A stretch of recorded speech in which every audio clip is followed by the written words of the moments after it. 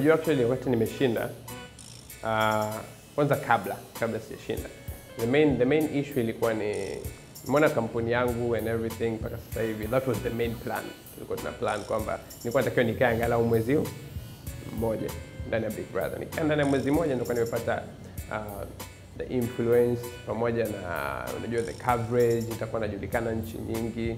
Kwa hiyo nikija kurudi kwa ajili kuanzisha kampuni yangu ya advertisement itakuwa ni rahisi na mimi itakuwa ni speed up, kila kitu kitakuwa nafanya kazi haraka haraka.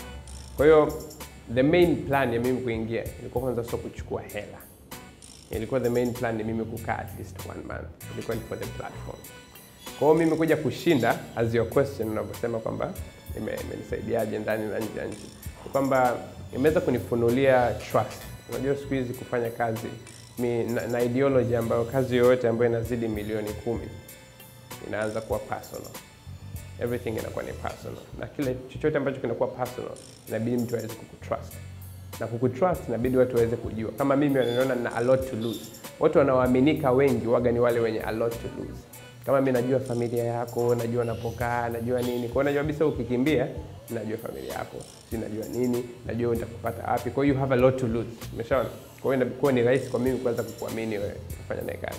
Kwa hiyo imenisaidia mimi kuweza kupata the whole platform na kazi zangu zinakuwa rahisi sasa hivi. Sehemu nikienda nahitaji kupitch kwa ajili ya kufanya kazi gani, nahitaji kwa ajili ya kwenda kuonana na mtu fulani, inakuwa ni rahisi kusema tu it's Idris, akiingia Google akisearch, oh it's Idris and oh it's easier for me. Kwa imenipa the whole the whole major platform ambayo nayo mimi sasa hivi. It's a potential ambayo natakiwa niweze kuitumia. Kwa sasa hivi nahisi kama nimeitumia kwa asilimia chache sana bado naweza kuitumia. So this year 2016 naanza kuitumia. Maisha baada ya kupata umaarufu yamekuwa ni magumu na marahisi in such. Uh, ugumu wake ni huwezi kuishi kama binadamu wa kawaida. Hiyo ndio ugumu wake, kwamba sasa hivi siwezi nikasimama nika nikatoka Ubungo nikatua pale nikanunua mwindi ambao na utamani kweli na nikatoka na mwindi wangu nikaondoka kwa amani. Haiwezekani, yani it's not possible kabisa nikaweza kushuka nikafanya kitu kama hicho, lakini yani ndo that part ndo naongelea kusema kwamba yani kuna vitu ambavyo siwezi kuvifanya.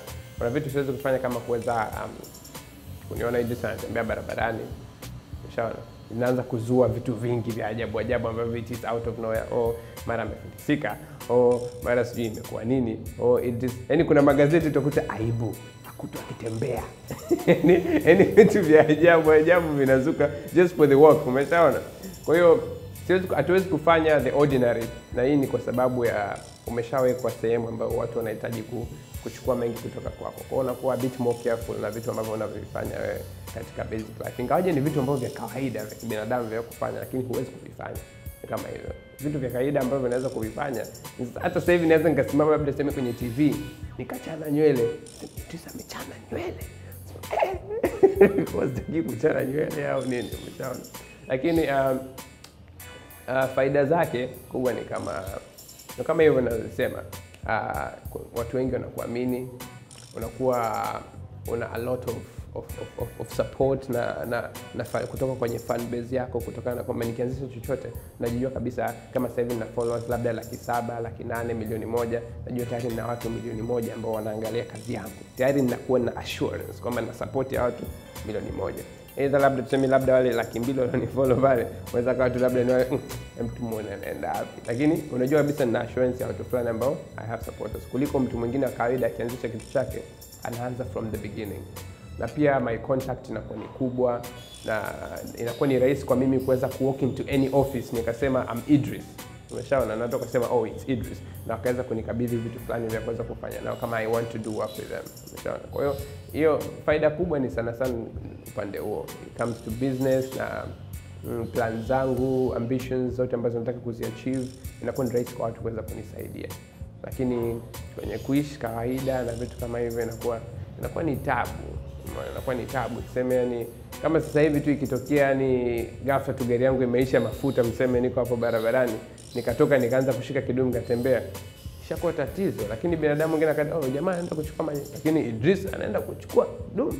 Kwa hiyo sasa hivi naishi maifuta yakiisha barabarani, nachomoa na plate number naziweka ndani ya gari natoka navaa kofia naenda nanunua zile nani kama za Sudi Brown, nachusha natembea, nikiingia petrol station, nikirudi nikuja mafuta nikiweka, narudishia plate number tena upya, sababu watu wanaijua gari yangu. Kwa hiyo ni vitu kama hivyo, so i- ime affect my life.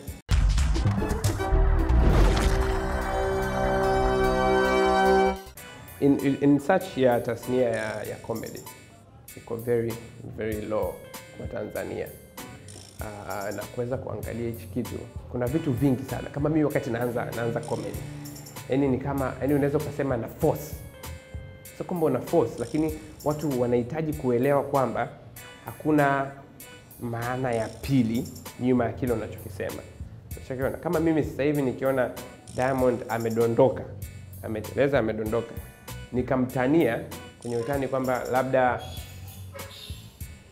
ni ni kitu cha kidogo, let's say let's say amedondoka stejini, nikasema labda tu alipigiwa simu akaambiwa labda Tifa sio mtoto wake, umeshaona, akadondoka stejini. Lakini nikisema out of nowhere, watu wana- wanaona ah, ujamaa basi atakuwa na beef na Diamond, labda ujamaa atakuwa labda sijui anachochea ana- ana- anachochea vitu vya ajabu. No, umeshaona kama you're a comedian una set something basi iko pale tu na watu watacheka.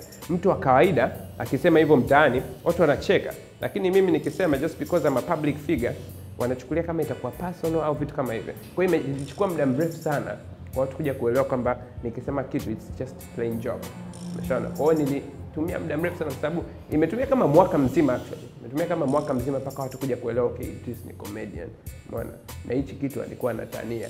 Hiyo ni baada ya kufanya vitu vingi sana, kuleta hii kuleta ili kuparangana. Kuna posti nyingi sana nimezifuta. Kuna posti watu wanakuja ndani wanachukia, wanakereka, wengine watacheka walioelewa, wengine basi. Mpaka sasa hivi ndio watu wanaanza kuelewa sasa, inakuja polepole. Sasa I think hii inawaface watu wengi. Mimi kama mimi nimeamua kukomaa, unaona, nimekomaa nayo mpaka nimeweza kueleweka lakini kuna watu wengine hapa katikati tu wakipata vile vipingamizi na nini, watu wameshamtukana tukana sana nini na nini, anakata tamaa, anaamua kufanya kitu kingine. Ndio maana ukiona hata uh, comedy nyingi ambazo ziko Tanzania wakiwa wanafanya kitu kuhusiana na mtu fulani, wote tunajua anatania kuhusu mtu fulani, lakini hasemi jina. Umeshaona? Lakini kwa nini usiseme jina? Umeshaona? We both know nani unayemwongelea. Unaogopa nini? Umeshaona? Kuna freedom of speech. Unaongelea kitu fulani. Kama unajijua hichi kitu, unaongea ni kama utani and it is just plain. Unaongea kawaida. Looking at comedians kama USA, UK, wote wanaofanya, unasimama stejini unatania vitu vikubwa, umeshaona? Na unasema names of people. Na hawa watu ndo tunawaangalia, we saying we want to be like them. Umeshaona?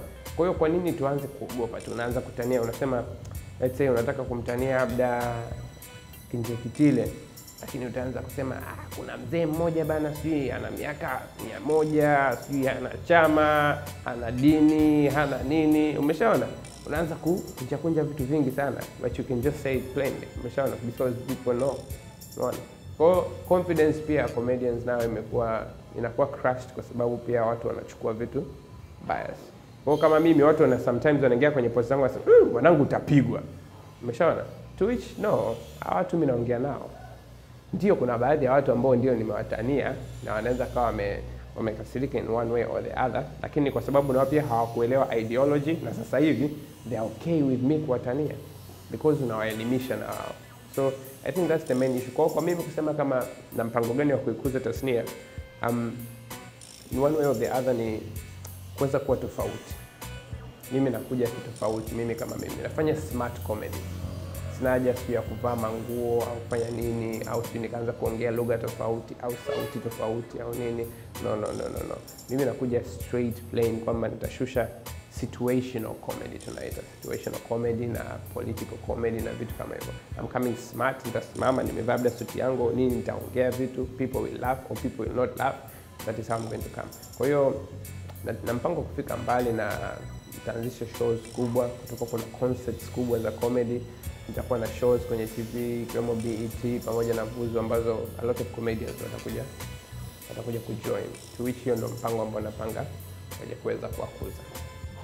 Baada ya Big Brother actually na kampuni na kampuni mbili ambazo zimeniweka very busy. The first company ni ni 3 ambayo ni advertising company ambayo inafanya photography, inafanya videography, graphic design, mambo ya marketing pamoja na all the billboards na vitu kama hivyo. Pia tulishughulikia kampeni ya CCM, the whole campaign ya CCM tulikuwa tunashughulikia sisi. Uh, tumefanya a lot of big jobs also. I'm referring to CCM kwa sababu ni the, the, the recent one ambayo imetokea. so that is um, that is that is my company ambayo imefanya that is the first company imefanya advertising alafu um, second company ni mining company ambayo that has just started this year nilikuwa naishughulikia for like one full year ambayo imechukua a lot of money kuweza kuifikisha hapo ilipo. Kwa hiyo sasa hivi ndio tunaanza this mining. Na tutakuwa tunafanya mambo ya gold na minerals. By the meantime tuna concentrate kwenye gold mostly. Inaitwa Clarix. Those are the two companies ambazo zimeweza kuni my mind so much kwa watu wakiona ah kununua si private jet si kununua nini they start asking themselves mm, mm, ah. no we have plans umeona na a lot of plans na hizi plans na zinaweza kunifanya mimi nikaanza kudream. Kama nikisema leo naamka nategemea kununua muhindi muhindi ni shilingi ngapi? Ni shilingi mia tano. Then in my mind najijua kabisa leo nitatengeneza elfu moja mia tano. Kwa hiyo nitakuwa na mia tano extra ya kuweza kuja kununua muhindi. Kwa navyosema nitanunua private jet. Private jet shilingi ngapi? Dola milioni moja. Then in my mind nina dola milioni tano. Umeshaona? So that is how it really works So these are the companies ambazo zimekuwa zimeweka mimi busy. Ukiachana na hiyo mm, na tv shows ambazo zimekuwa zikiwa on prep. For a very long time kuna shows kuna reality shows ambazo zinakuja kwenye BET kuna shows ambazo zitakuja hapa hapa tv locally kuna shows ambazo zitapigwa Africa nzima on DSTV so these are the shows ambazo zimekuwa pia zikiniumiza kichwa for a long time. So tuko katika last stages na tukaribia kumalizia